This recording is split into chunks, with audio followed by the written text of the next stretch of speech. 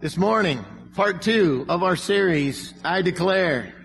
If you weren't here last week, we were using Psalm 27, and we are making seven faith declarations out of Psalm 27. We covered the first three verses last week, and uh, the, the our declaration from last week was, "I will live life strong." And where we get a faith declaration is not just something that we make up. It's not just something that we hope for. It's something that we see in God's Word. And when David uh, spoke of God's strength and God dealing with him, that he never had to fear, didn't have to be afraid. Even if an army arrayed against him, he wouldn't fear. And if war broke out against him, even then he would be confident. And so what we do is we just uh, uh, summarize that a little bit into a statement that we can declare over our own life. I will live life strong. So can we start right there? Can we all just make that faith declaration over our lives this morning? I will live life strong. All right. The one other thing I ask you to do, actually challenge you to do, is what? Memorize Psalm 27. Okay. So, so, so here, here's here's a pop quiz. How you doing on that? Okay, now I'm, I'm getting reports of people that are memorizing ahead. That's great. Go for it.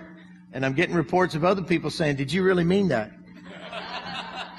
Does this look like a joking face? I didn't say it was, my face was a joke. I, I, I'm not kidding. Okay?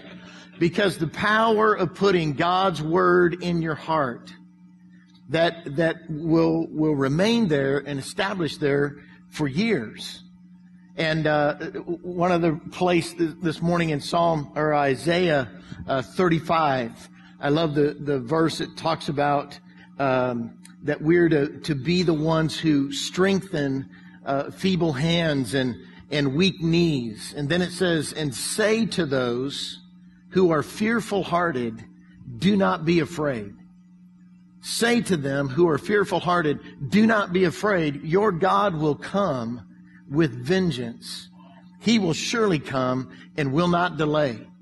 All right. And so we can speak those faith declarations not only over our lives, but over someone else's life.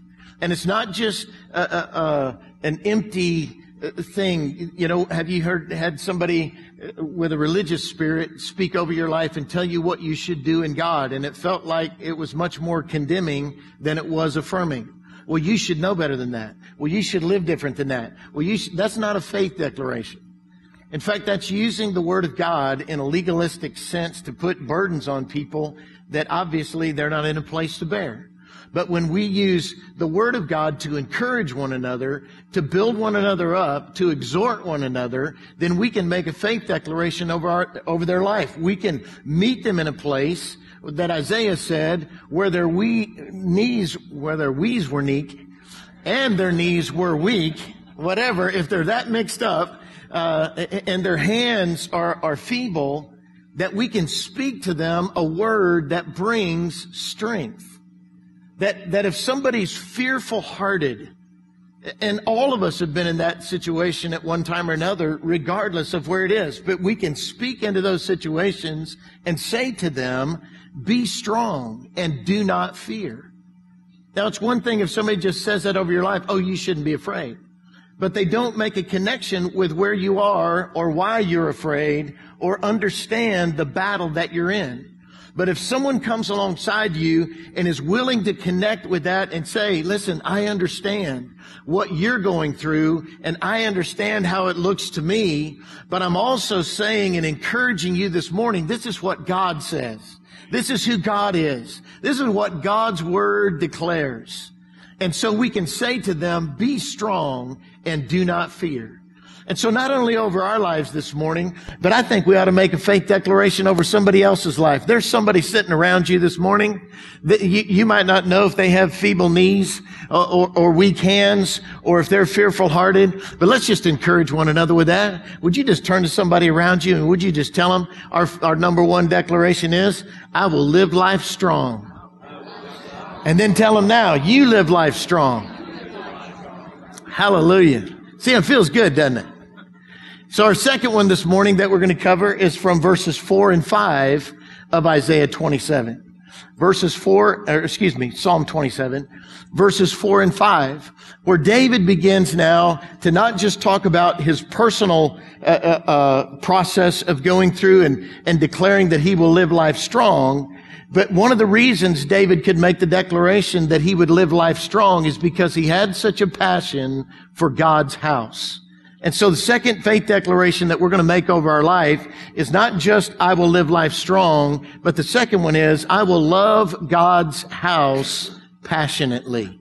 Come on, can you say that with me this morning? I will love God's house passionately. All right, now let's go through and put verses one through three together with verses four and five. Have you got them memorized yet?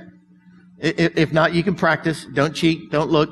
Just, just see if we can get it. Some of you said, you know, with the, with the offering proclamation that we make, it's really a faith declaration of our life because it's not just what we're saying, it's what God has already said in His Word. And we're just coming into agreement with it and declaring it over our life. It's not positive confession. It's a faith declaration because faith is the substance of things hoped for, the evidence of things not seen. How many of you have something in your life that you've asked God for, that you're praying for, that you're believing for, that you haven't seen yet. Maybe it's a breakthrough. Maybe it's a healing. That's fine. You can keep your hands up. Okay. That, that maybe it's an answer to a prayer for someone else. All right. And at that point is where our faith that we have to stand in a place of faith in what God has said and, and have our, it fixed in our heart. Faith comes by hearing, hearing what? The Word of God.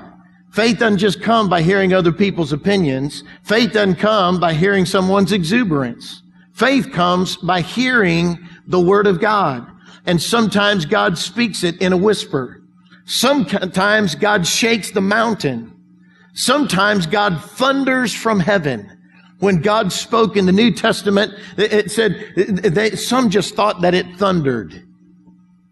Well, every time it thunders during a storm, I'm thinking, there you go, Lord, speak. Go ahead, speak it. Amen.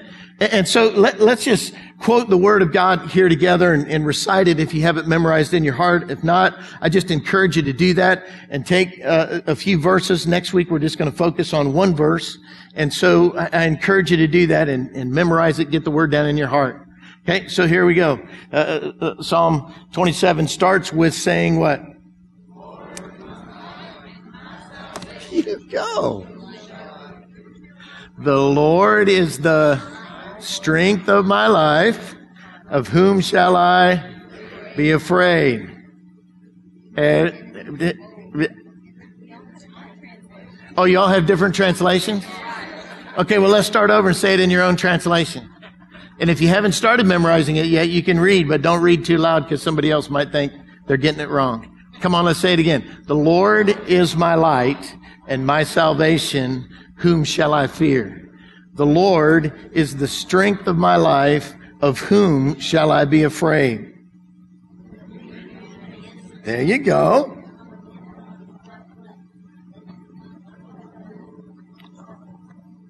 Though an army array, though war break out against me, even then will I be confident. Now let's make our faith declaration. I will live life strong. Hallelujah. Now here's the second part. One thing have I desired of the Lord, and that will I seek after, that I may dwell in the house of the Lord all the days of my life, to, to behold his beauty in the temple, and to inquire or to seek him in his tabernacle. And so here David declares, oh, we missed verse 5. Verse 5 says, then what? For in the day of trouble, note it, in the day of trouble, he will hide me in his dwelling. He will place me there, secure me, and set me high upon a rock. Now, the interesting thing is, if David said God's going to hide him in the day of trouble, then he says, then he's going to set me high up on a rock. it's hard to be hidden when you're, when you're seated high up on a rock. So we're going to talk about that this morning. But our faith declaration from, from those two verses of David's passion, his heart for the house of God is, I will love God's house passionately. Come on, say that with me. I will love God's house passionately. Now, before we develop this, uh, uh, I got three simple things that we'll see in those two verses of how, what does it mean for David to love God's house passionately? And the first thing we need to define is the fact that passion without purpose is reckless. Passion without purpose is reckless. And so David was a passionate man. But not all of his passions were pure. Let that settle in. And the one event that marked his life that, that was so out of character for David was when he committed adultery with Bathsheba. It was a passion, but he was not walking in his purpose. That section of scripture talks about in the spring of the year when kings go out for war, for fighting. David stayed behind and he was in his palace. It, it was a season where kings were going out for war. It was a season where kings were going out to defend their territory and David was not. David was at home alone in his palace. He wasn't walking in his purpose.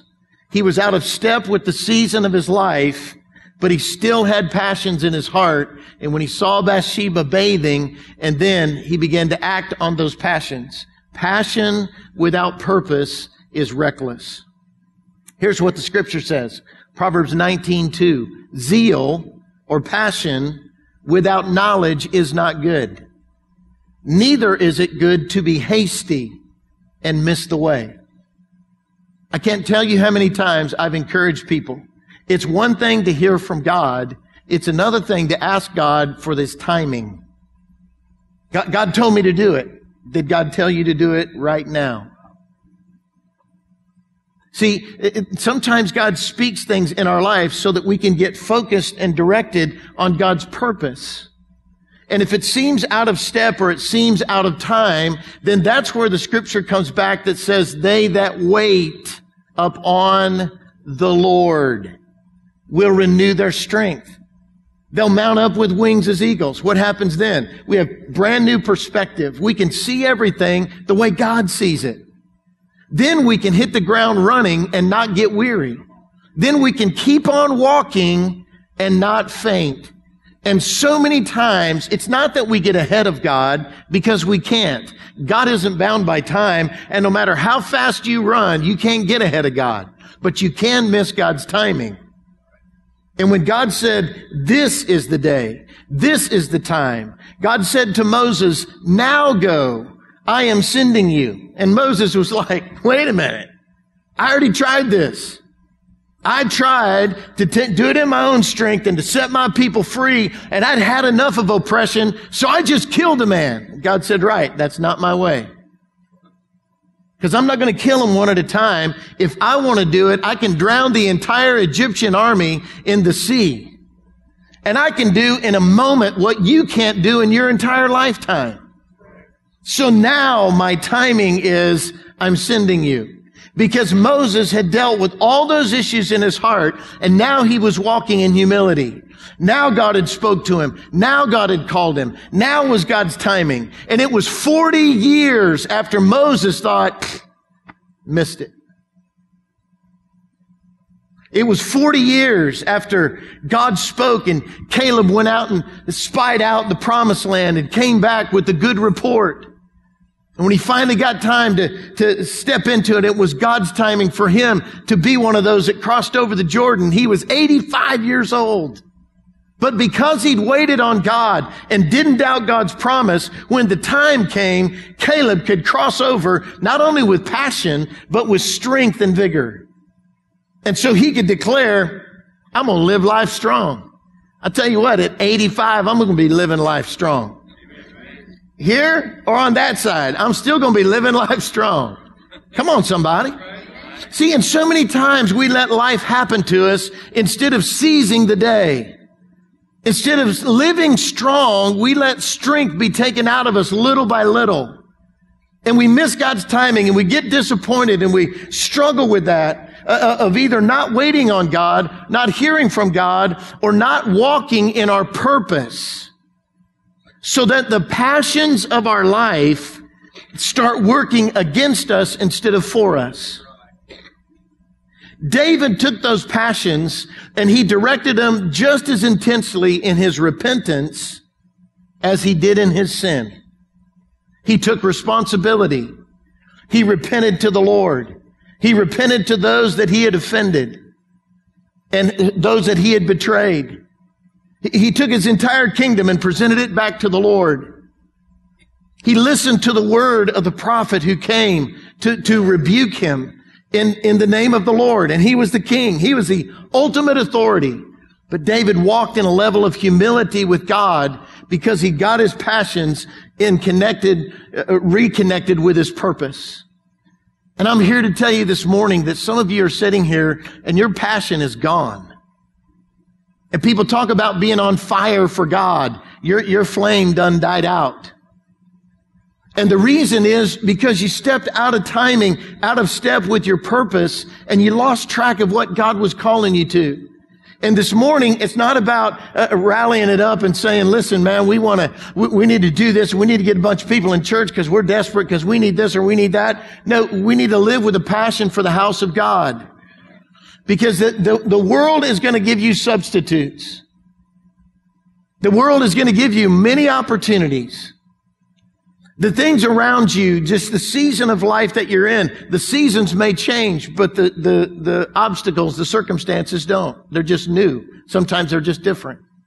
And you think, man, when I get time, I'm going to do this. When I get time, I'm going to do that.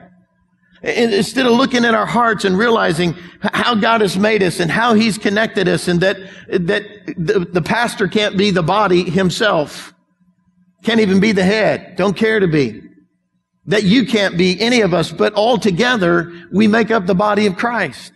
And the eye can't say to the hand, I don't need you. And the little toe can't say to the bladder, I don't need you either. That all of those parts as we come together form the body of Christ. And it's an incredible thing when we function together. And if we live with a passion for the house of God and direct our passions toward the house of God, there's some incredible benefits that begin to come into our life. I believe that David lived in a constant, uh, let me rephrase that. I believe one of David's greatest spiritual challenges his entire life was to overcome a spirit of rejection. You see it uh, uh, portrayed all through scripture, uh, uh, specifically as he was passed over, uh, as Samuel came to anoint the next king and David wasn't even in the house. Many people believe that David was an illegitimate son. And so therefore was given these tasks and assignments. And, and in fact, one of his Psalms, he says, surely in iniquity was I conceived. That's not just in the spiritual sense that we're all born into sin, but, but it would be a root issue in David's life. It's why he would be the runt of the litter, if you will, the one overlooked, the one there, even when he came to uh, battle Goliath. And they mocked him and made fun of him because of his size and his stature, but he was uniquely qualified for that event. And then Saul, the king, tried to kill him the one that he had served and honored and, and continued to walk in honor before God because of his position. And so I believe David battled that spirit of rejection uh, off and on through his whole life. And, and so here he, his desire was to be in a place of safety and security, to be established in God, not self-confident, but in that sense of total acceptance and David found that in the presence of God. And once he found it, he fought to get back there and to keep that and to establish it. It's why David's passion was so strong when he directed it to the house of God. It, there, it's, I, I can't find an example anywhere in history of one man who gave so much to a building project. And the building project wasn't his palace. The building project was the house of God. We'll talk about that. But what I want us to see this morning, when we talk about loving God's house passionately, it's not just exuberance and demonstrative and emotionally and all of that. Nothing significant in life is ever accomplished without passion. If I were to boil it down this morning and, and, and, one of the questions that I ask people when I just try to connect, I always try to uh, uh, ask people, tell me your story. And, and that's kind of awkward for people. What, what, what, do you want, what do you want to know? I said, what's your story? I, don't want to tell you my story. I'll be glad to, but I'd, I'd rather know your story because people fascinate me. And somewhere along the line in the conversation, I'll ask this question What's your passion? Let, let me ask it another way. If somebody asks you this morning, What's one thing in your life that, that's non negotiable? Here's another way. What's, what's one thing that you would say defines you as a person? See, we went on. How's your day? How are you doing? Fine. How are you? It, but that takes it beneath the surface and it, people always hesitate unless they're walking in their purpose or unless it's obvious. And when people walk in their passion, it's obvious. They, they don't have to strive. They don't have to strain. Uh, uh, uh they're not trying to impress anybody. It's like, man, I was born for this. I love this. If I don't do this, I, I don't fit. You know, it might not be everybody's deal, but it's my deal, and, and I just love doing it. So let me ask you again this morning. If I were to ask you individually, just in a casual conversation over a cup of coffee or whatever, sweet tea, what's your passion? Would you have to think about it? David said, Here's my passion. One thing have I desired. Now, he desired many things, and so do you. I want to do this, I want to do this, I want to do this, man. You know, I'd like to take a trip to whatever, I'd like to da da da da da, I, I'd like to, okay, there's all kinds of desires in our heart, but David was able to weed them all out and focus them on one thing and express all of his energy and all of his passion toward that one thing. And then he said, not only is it my desire, to, to, to be in the house of God all the days of my life, but that's the thing I'm going to seek. And, and I'm going to pursue that with everything in me because of God's presence. And he said, the reason that, that that's such a passion in my life is because in that place, the house of God, I get to behold him.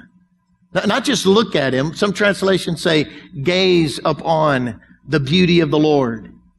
I love the New Living Translation. It says to behold the Lord's perfections. And, and in that place in God's presence, that's a great term. Because we look at God and, and we see something in God we've never seen before when it's just us and Him. David said he makes his face to shine upon him and, and, and, that God meets him there, that he hides him, that he shelters him. And it's all those terms that David would have known as a military genius. That, that there's times where, where, uh, you charge and there are other times where you hide. It doesn't mean that you're a coward. It means that you're cunning and that you know warfare and you know the terrain.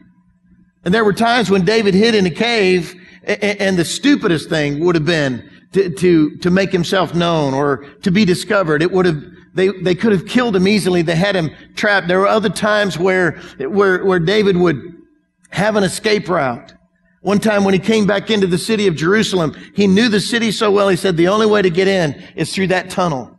And so David went underground and he went through that tunnel. It was a secret passageway that only he would know. And so when we get in those times, we, we realize when David's talking about God hiding him and God sheltering him, it's not because he's afraid, it's because he knows how strategic that is.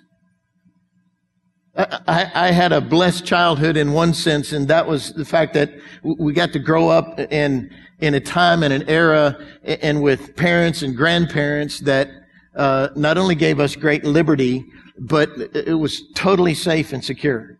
And part of the safety was that uh, you know we believed it took a village to raise a child before Hillary Clinton ever got the clue, and so no offense, Democrats.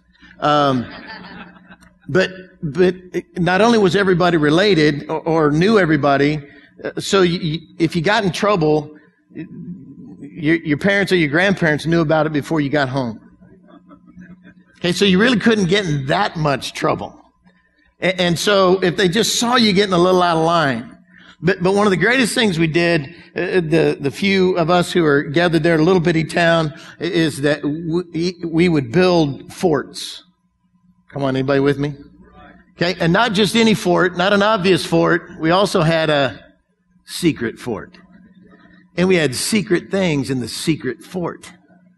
We had secret ammo. We had a stash. Sometimes we'd have secret snacks. Sometimes we'd have whatever and we'd, okay? And it's not like Spanky and the gang with the He-Man Woman Haters Club, but uh, we thought that was kind of cool too. But, but that was a little before my time.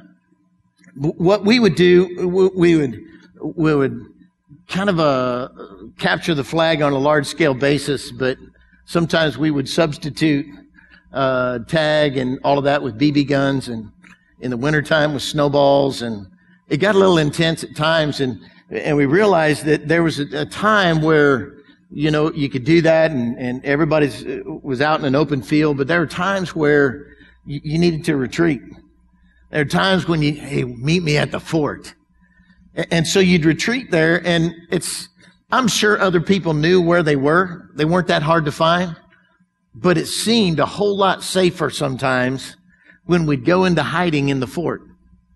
The other thing that was a great advantage is when before someone else discovered where our fort was, that we would see them coming down the trail and we could ambush them. We were hidden in our fort and they didn't know where it was. And that gave us a great advantage in the warfare that was there. Now, I believe that God allowed me the privilege of those experiences to teach me some lessons later on in life. Th- those battles were fun, seldom came to blows. And, and if they did, my brother is two years older than me. He usually won those. Or, or, or the neighborhood kids and somebody'd end up with a bruise and that's it. And then, then we'd have to make up and forgive and we'd get grounded for a day or two and then we'd go right back to it. Are you, are you with me here? Now, now why do I make that connection? Because David, in his humanity, in his earthiness, in his manly passions, in fact, one of the best books written on David's life is called that, A Man of All Passions. That he was able to master those in a way to direct them toward one thing in his life, the house of God. Not his own palace, not his kingdom, not his finances, not his uh, soldiers, not, not what he had in his life, but the one thing that he found fulfillment, where he found security, where he found total affirmation and acceptance in God, that he desired more than anything else, one thing, was to build God's house. So when we say this morning that David's faith declaration was, I will lo- love God's house passionately, what does that mean and how did he get there? Let me give you three things real quickly. Number one, David made God's house his priority. He, he made building God's house and dwelling in God's house and loving God's house his priority. The one thing. Among many, but it was the one thing, the first thing, the foremost thing, as one translation said, the most important thing, and the thing I will seek the most is to dwell in the house of the Lord. And then he says, all the days of my life. Now, David wasn't saying, man, I wish I was a priest. I, I, I wish I could be uh, uh, one of the Levites. I wish I could be one of the tribes that were assigned. I believe David's heart was from Psalm 84. I'd rather be a doorkeeper in the house of God than to dwell in the tents of the wicked. I believe David would have said, man, I'll give up my throne if I can just be an usher at church. Are you with me here? It was his passion because it was his priority. And when he prioritized it in his life, there was nothing more important in David's life than the house of God. Not his temple, not his kingdom, not his enemies. Nothing was more important than that. You say, how did David exemplify that? Well, the first thing was when the, the Philistines, Israel's enemies, had captured the Ark of the Covenant. It was the dwelling place of God. It was God saying, this is going to be the place of my presence among you. And God is always orienting us around that. That God is everywhere. But how in the world can he confine himself to one place? Well, he does. And he did. And in Moses' day, it was a tabernacle eh, that they carried with them in the wilderness in their journeys. And then in David's day, not only was it that sense of the tabernacle, but it was specifically focused on God's presence, that ark, and that God dwelt there. And so when he made it his priority, he went to the Philistines, defeated them, and the ark was brought back to Jerusalem. And it was one of the greatest days of David's life until they realized somebody hadn't read the instruction book. And they put it on a cart. It was never commanded to be upon a cart. It, it had gold rings on the side of it and poles were to be ran down through the sides of it and carried on men's shoulders. Because God didn't want his presence being carried by a cart or a wagon or a donkey or a beast of burden. God wanted his presence to rest upon men. And so the priests who were anointed to do that, set apart to do that, uh, uh, were the ones who put it on a cart. And as they were going, one of the men named Uzzah, uh, as they got to the threshing floor, the cart, uh, uh, uh, Uh, uh, uh, the oxen stumbled and the cart jiggled and, and the ark was ready to fall off. And so he tried to, to stop it, to stabilize it on the cart, and he was struck dead immediately. David was really disappointed. He got his feelings hurt. He was frustrated. He got mad at God. And the scripture said that day, David was afraid of the Lord. See, that, that's like, oh man. And so then when the, the, the, priest came and, and gave the instruction and they understood the way in which the ark was to be carried, then they went back and started from that place. They mourned for that guy established it again. Second Samuel chapter six says, then what they did was did it the right way, God's way, and they would pick up that ark, the, the six men who were to carry it, the priests of the Lord, and they would walk six steps. They would set it back down and they would have a sacrifice. And then they'd pick it up and walk six more steps and have another sacrifice. Now, taking that ark even a short distance would have taken all kinds of time. And so what I want you to see is the extravagance to which David was willing to go because of the presence of the Lord. Not only did he make it his priority, but he made it his pursuit.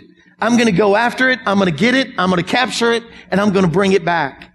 And then it's all about the presence of God. It's not about a building. It's not about a structure. It's about that place where God's presence dwells. Everybody say those words with me, if you will, please. God, David made it his priority. He made it his pursuit and he focused on God's presence. Why is that significant? Because if we're going to love God's house passionately, if we're going to sort out our life and say what's really important to me, what's really important to my family, or as we said a few moments ago, what's the one question? What's your passion? That we can't say anything else other than eh, eh, eh, the, the house of God if we're going to love it passionately. David said, that's my one thing. And when we put ourselves in that position, we begin to live with a passion because we're living in our purpose and we're focused on what God's calling us to do. Now look, There's all kinds of things vying for your time. There's all kinds of good organizations asking for your donations. There's all kinds of things that you need. You need to rest. You need to have a Sabbath. You need to work. Scripture says six days you shall work and on the seventh you shall rest and God will bless everything that you have. If we really wanted to take it to the next level, we could live like Israel and every seven years we'd take a whole year off. Come on, somebody.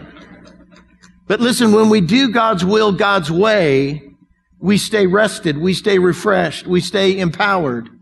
And that's what David began to discover. Look, there's a power with God and in God's presence that I can't replicate. That, that I can't produce. Any decree that I can sign, any lives that I can put on the line, no matter what victories we have, it, without the presence of God, it's empty. And I see so many families here living lives, not just here as in this building this morning, but in America and really throughout the world. That, that they're living this thing of just busyness. They're worn out. Their budgets are stretched because, man, I feel like we got to do this and this and this and we have to have a vacation and we have to do this and we have to do that. And man, if I, you know, I, I don't have anything left over to give to God. Let me tell you something that should convict all of us. When, when David, when the ark was brought back and, and rested there in Jerusalem, the first thing David did, he, he was there and obviously he was walking around his house, but he was thinking about that ark, that box, that presence of God. And he said to himself, this isn't right. Here I am living in a paneled house of cedar, and the ark of God is under a tent. And so he said, I want to build a house for God. So he calls Nathan, the prophet, and he says, Nathan, here's what God put on my heart. And Nathan said, whatever you have in mind, do it, for God is with you. In other words, sounds great to me. Let's do it. Let's build God a house. And then God spoke to Nathan and he came back and spoke to David and he said, God said, you're not the one to do it. That God will give you the plans, but he's going to build you a house. And that you are not the one to build a house for him because your hands have shed much blood. But God will raise up an heir and he will follow you and he's the one who will build a house for me. And David didn't get disappointed. David didn't go pout. David didn't feel and uh, respond to that spirit of rejection on his life because God didn't reject him. God affirmed him. He just put it in perspective and said, that's not your purpose. Here's your purpose. And when you live your purpose with your passion, it affects generations to come. And so I'm going to establish your line because you had a desire, a passion to build me a house. I'm going to establish yours. Now, when somebody says you can't outgive God, David would say, let me tell you about that. Amen. I wanted to build him one. He said, no, I'm going to build you one. How many think God could build a better house for you than you could for him? I mean, take a look at the mountains. God said, the earth is my footstool. That's a pretty big footstool. God has large feet. But he said, The heavens are my tabernacle. Is that awesome or what? God decorates with twinkle lights. I mean, that's what he said. Have you seen it at night? It just sparkles. And so God brings it to this place of saying, listen, I don't, I don't think you can build it quite big enough. I'm bigger than the earth. But here's what David did.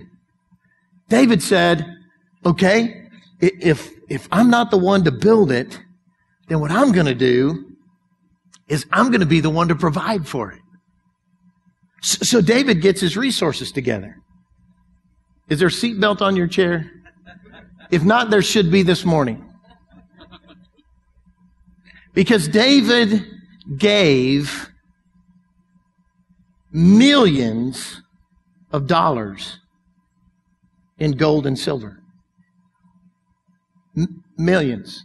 In fact, David gave 82.5 million pounds of gold and silver.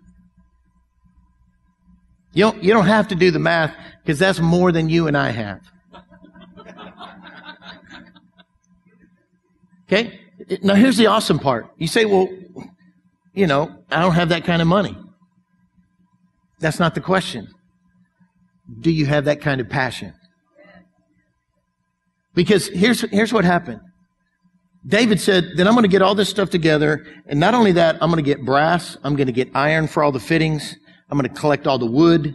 I'm going to go get craftsmen that know how to build all this stuff. I'm going to put the entire construction crew together. I'm going to put supervisors over specific areas. I'm going to get all of this stuff lined up and I'm going to resource it. I'm going to finance it. Here's the plans, everything. And then I'm just going to hand it off. That's in uh, 1 Chronicles 22. In chapter 29, after what he's already given, David says this. Besides everything else. Now, I don't know about you, but if I'd just given a billion dollars to the building fund, I don't know that I'd have to give an offering. Are you getting this? We've already taken the offering. I'm not asking you to give. We're not, this isn't make a pledge Sunday. I'm telling you, David's priority and his passion was expressed in this total willingness to give whatever. And not only did he give millions of pounds, we said, where did he get the gold and silver? It was plunder from the enemies that they conquered. So let me ask you that. If God's house is your priority, are you willing to bring the plunder from the battles and the victories that you've walked through in your life? Are you willing to bring a sacrifice of praise into the house of God? Unlimited. I'll tell anybody that'll listen. Let me tell you what God did for me, not just back in Ot 4 in the good old days, but I'm, here's what God's doing in my life today. Here's my passion for Him. And if you can't express that passion to God in that way, that's the aspect of what priority does God's house have in your life? And for far too many of us, it's just become an add-on. I don't say that out of condemnation. I don't say that out of judgment. I say that as a parent who's walked through the busyness of having young children that grow into older children and now they have families and now grandchildren and all that kind of thing of stuff competing for our time and vying for our time and whatever and, and a wife who's not demanding but who, who's deserving and trying to balance all of that out in my life and say, okay, I only have so much time. And God said, right, how are you going to spend it? How are you going to spend the first few minutes of your day? How are you going to spend the first day of the week? How are you going to spend those moments in worship? Are you going to uh, uh, be concise and work with precision? Are you going to work with diligence? Are you going to express that passion when it's a grind? Are we going to be able to express that passion for the house of God, reaching out beyond these borders and, and these walls when it's something as unglorious as cleaning toilets at a campground so some kids who can't do it for themselves can enjoy their time and those that want to be there and minister to them like we did at Civitan? Is that going to be an outreach where we just give because of all the resources that we have? Is that awesome or what? See, David's passion was expressed and here's what's incredible to me. In 1 Chronicles 29 then, after he's already given 82 and a half million pounds of gold and silver, he, he, takes up another offering for himself. I mean, uh, from himself. And he said, in my devotion to the house of God, besides all that I've already given, over and above, I also give 110 talents of, of gold and 200 and some talents of silver, whatever it was that he said. And I'm thinking, what? Listen to this. From my personal treasury. Okay? In other words, if it would be our president writing a check from your tax dollars and giving away a portion of our economy to, to build the house of God, that would be one thing. But if he wrote a check from his personal account that's not yours, that you didn't have a hand in, that you didn't have a part in. And so David said, you know what? All that that I've given was plunder from the enemy, but this is from my personal treasury. And so I give all my personal treasury in my devotion, my passion for the house of God. And I will hold nothing back from him. Now watch. Now's where it gets tricky. And after he had done that and proclaimed that publicly, for, for the honor to build the house of God in his passion for the house of God, and then he said, now who's with me? I know, right? Uh, who among you is willing? And here's what's cool. The leaders, the leaders stood up and began to give willingly. And then the last verse there uh, says that the people then rejoiced at the willing response of their king and their leaders. Why? Because the people saw passion in action. The people saw a passion with a priority. The people saw passion connected to purpose, and it wasn't some reckless deal. It wasn't some gambling thing. It wasn't some deal where somebody gets excited and said, man, I give a thousand. What are you going to give? It, it wasn't a challenge. It wasn't a throwdown. No manipulation whatsoever. David in his passion said, I'm cleaning out my accounts. I'm going to do everything I possibly can to provide for the house of God. That's passion. But he said, not only is it, is it going to be my priority and uh, express my passion that way, it's going to be what I pursue. And he says, uh, uh, one thing have I desired, but it's not just a desire, it's a pursuit. And that will I seek after all the days of my life. He wasn't talking about moving into the church, moving into the house of God, but he connected it so much in his heart with God's presence and that place where his presence dwelt that David was really saying, I'd rather be there than here. And he didn't despise where he lived or what he had. He gave praise to God and he said, Lord, who am I? And who are this people that you would honor us in such a way? Look at all that you've provided for us. Even in that, David's expressing his passion to God and for the house of God and the presence of God and realizing every blessing he had in his life, every victory that he won, every honor that was given him as a warrior, as a worshiper, as a king, as a person, as a father, as he walked and led his kingdom was just from God. That level of humility and gratitude is what sustained David all of his life. It's how he expressed that passion. And the one time in his life where he stepped out of God's purpose, actually there was a couple. The other time is where he numbered all the fighting men. And it was like, let me see how much power I got. Let me see how many warriors we have. And God said, it's never been about that. Remember Gideon? We sent a bunch of those troops home. With God, it's never about numbers. In that sense of how much firepower do you have? And God says, watch this. And he said, you'll defeat an entire army with a torch and, and a planter box, a clay pot. Sick 'em. You, you'll cause walls to fall down because you blow a trumpet and shout. But you don't do that outside of God's will, and you can't do that outside of God's purpose. Listen, when we begin to see church as a spectator sport or, or a consumer thing, what's in it for me? That has become a marketing thing. Man, you got to come this week because we want you to come next week because, you know, we want you to keep on coming because we want to help you develop habits in your life that are going to help you. And then that whole dynamic. You know one thing David never said? Church is boring. You know one thing David never said? This ain't worth it. How, how can you say that? Because people don't give billions of dollars to what they're not passionate about. And people don't give lifetime offerings uh, uh, uh, in addition to the lifetime offering they've already given. For David, it wasn't just even an investment.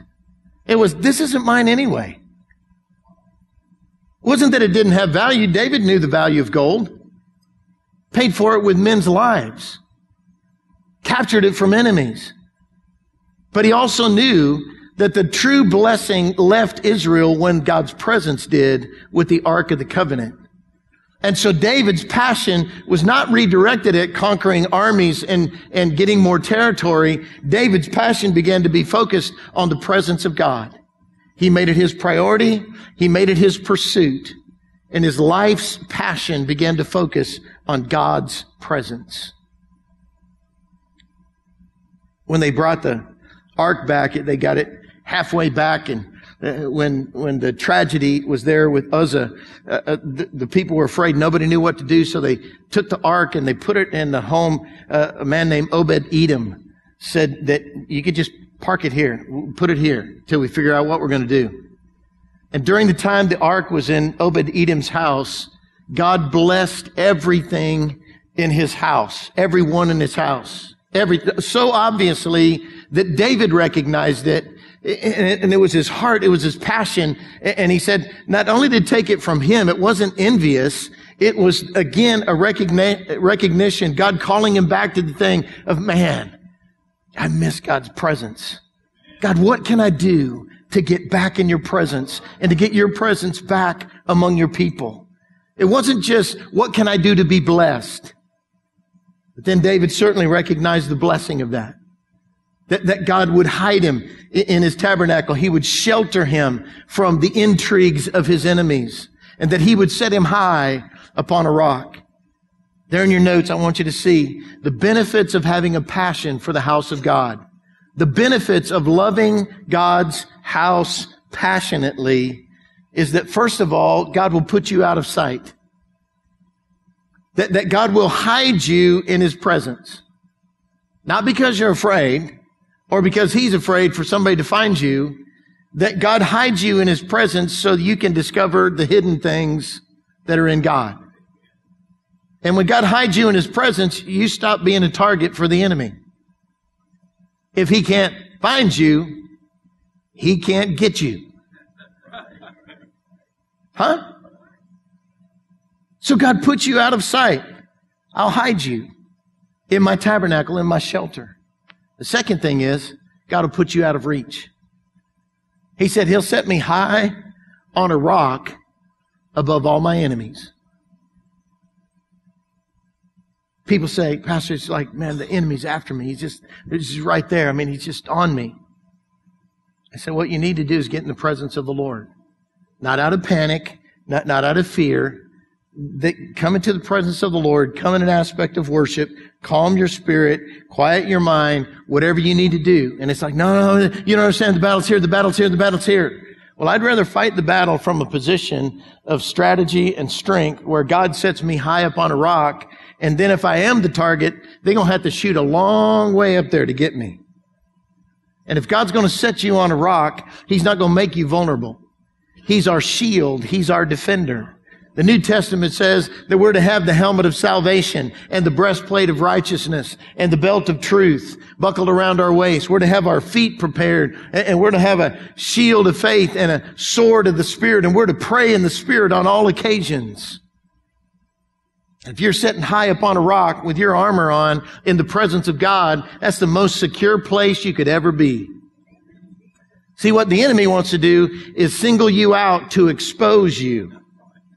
What God wants to do is set you high up on a rock to get you out of reach. And so not only is your praise to them, but then you can taunt your enemies and go, nah, nah, nah, nah, nah. See me, but you can't reach me. Listen, that's where David made his boast in God. I'm not talking about some immature, you know, battle of words. I'm talking about the enemy of your soul. And he comes and says, man, I got you.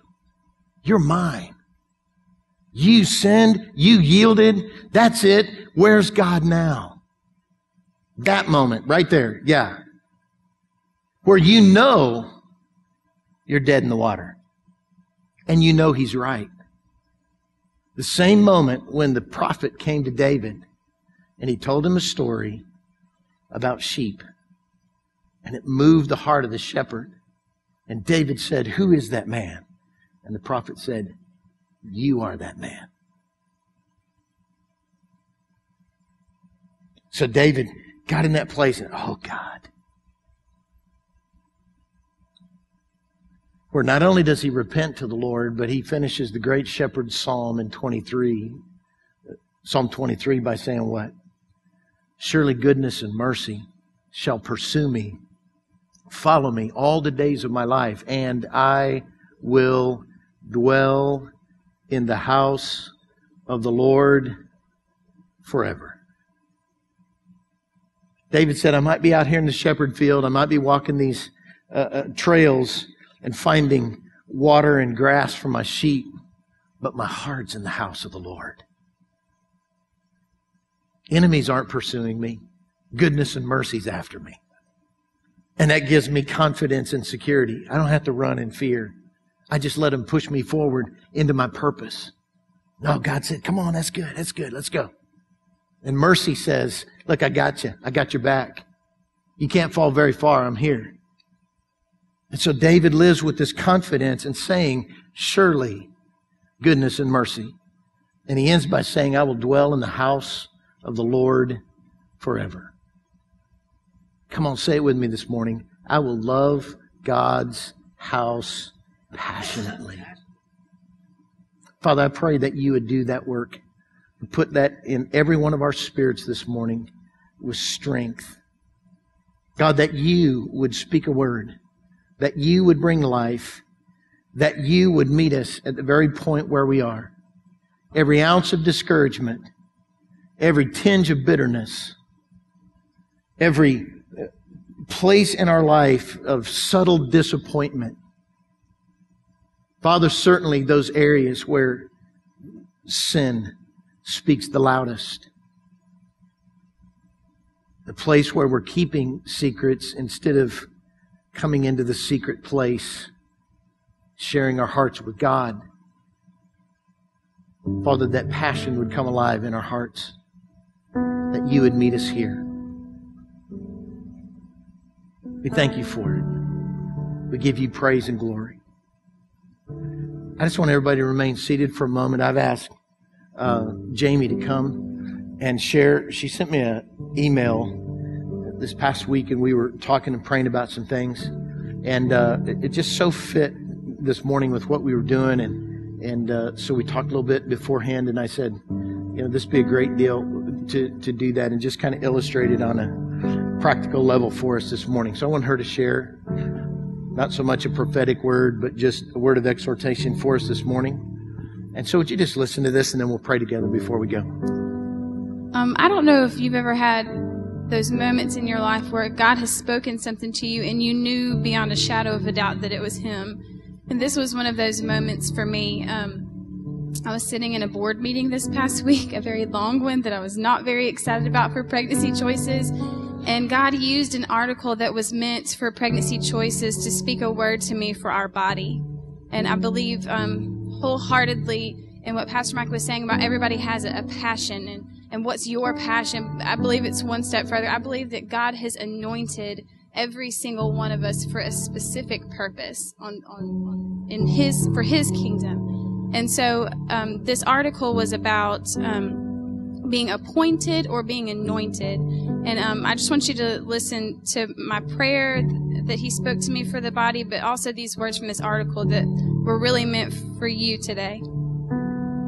He said, or this is my prayer. I really felt that um, these words are for our body. I feel as if the Lord wants us to pray for His anointing to fall and rest in our church and on every individual life um, that's represented by our body. I feel like He wants us, the people, to pray and be passionate about operating under His anointing in their personal lives, but also to utilize that anointing and gifting in our church. I can only begin to imagine the movement that could happen within our body if everyone would live under God's anointing. These are the words from the article. With God's anointing comes power and presence.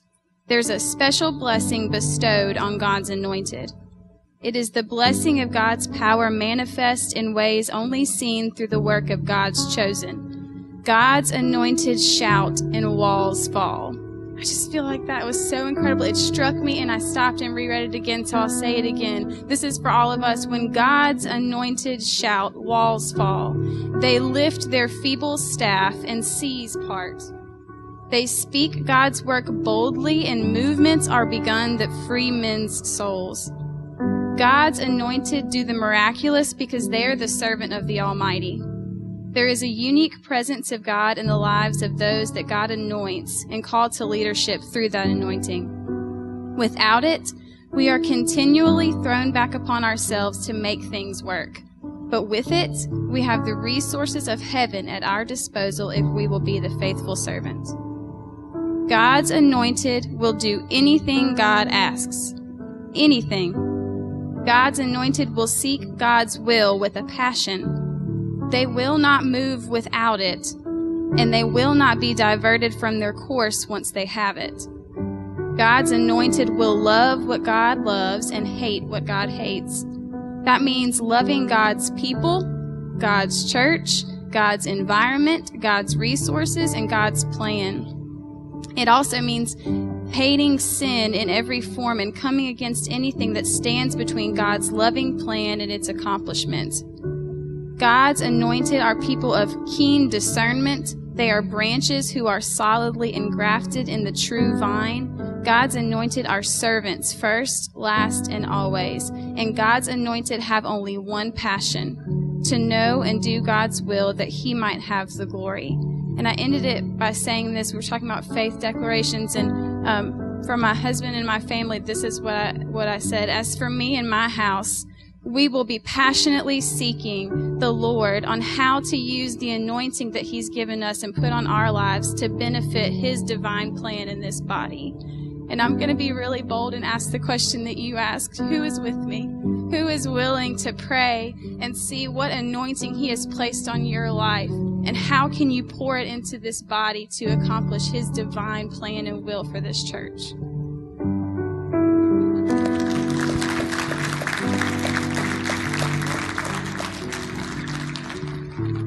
Amen. Jamie asked the question. I asked the question in a different way.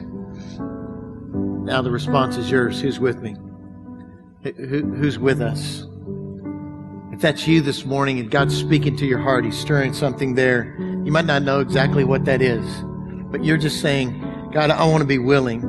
I, I want to be one of those that just fulfill that purpose. Jesus said He would build His church and they would knock down walls and the walls wouldn't be able to prevail against them. And that Jesus not only built his church on a revelation of his word, he anointed his church, not just with oil, but with the Holy Spirit and with power. And when we walk in that anointing, nothing shall be impossible for those who believe. And when people walk into environments where nothing is possible, the positive side of that is most of us live so much of our life with limitations. They're false, they're lies, they're, strongholds. But when God breaks those and sets us free, and we walk into an environment of possibility, that, that there's no, well, that's impossible. That's what Goliath thought until David cut his head off. That's what the Philistines thought. That's what Jericho thought.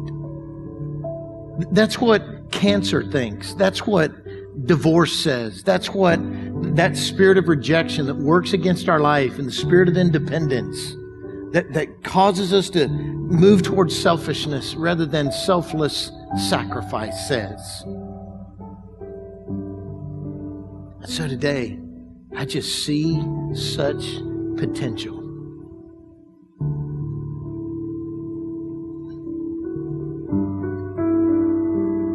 A friend of mine preached a message here a few years ago. You see bones. but I see an army. And I really do believe there's an army rising up. There's special forces, there's infantry, there's supply lines, there's medics, there's everything we need to be the people of God and to conquer great victories, to win great victories, not only for ourselves, but for others. So if that's you this morning and God's stirring in your heart, would you just stand with me? Come on, all over the building. Can we pray together? Would you lift your hands to the Lord? Father, I just thank you this morning that it's in the moments of our hearts where we make a resolve, a decision, where we make that commitment and sometimes our passion is focused outwardly and expressed even violently. Other times it's focused inwardly. And it turns into such strength and confidence and power that it changes our life and transforms everything about us our thinking, our words, our actions. Father, we declared over our lives that we're going to live our life strong. We're declaring over our lives this morning, based on your word, Father, we're going to love your house passionately. And as we do, God, I pray that we would love the place where your presence dwells. And we make that declaration over our lives that we're going to walk in the anointing that you've given us. Father, we're going to run our race with perseverance. And we're going to walk and not faint. And we're going to see the salvation of the Lord. God, I thank you this morning for the work that you're doing, the deep work in our hearts that begins to work itself out in every aspect of our lives in Jesus' name. Father, I give you praise and glory and honor for this people, this body. I thank you for the privilege of pastoring people that want to not only master their passions, but focus them on the things of God. People who love your presence. People who make God's house the ultimate priority in their life. Lord, I bless them today. I bless you with all that is within me and a willing spirit. Father, I say thank you. To this, your people, I just echo the words of David Who am I? And who is this people that we would be so blessed by God? We would be so honored to have you speak and dwell among us. So, Father, we cherish that. We honor it. We give our lives in response, in worship unto you. We say, Here am I, God. Use me. Send me. Anoint me for the task. In Jesus' name. Everybody said, Amen. Amen our prayer team slip out and take your places around, if you will, and there's any need in your life this morning, uh, we want to just want you just connect at a point of prayer. Uh, want to be praying for Miss Tina Walters. She had a bad fall this week and uh, had a fracture in her hip. She's in surgery right now, so we're just praying healing and blessing over her life. We're playing praying healing and blessing over y'all's. And uh, one other thing I want to encourage you to do on Facebook or on Twitter. Uh, if you would, uh, just in your responses or if you're posting things about that, uh, the message, uh, use the hashtag I declare. Hashtag I declare. If you don't know what a hashtag is, it's something that we have for breakfast. Um, hashtags, bacon and eggs. That if you do know what a hashtag is, then we're cool. Not, we'll we'll we'll encourage it. But what we can do then is, is start tracking that, and we can follow that all the way through. So hashtag I declare, and then you can make not only a declaration, but just share words of encouragement and what God's doing in your life. Amen. The best is yet to come. You know why? Because I'm going to live life strong. You know how? I'm going to love God's house passionately. Hallelujah. Join us next week when we talk about, and I will hold my head high. Hallelujah. Bless you, everybody. If you want to receive prayer, time of ministry for anything, we encourage you to come. not, be blessed. Have a great week in the Lord.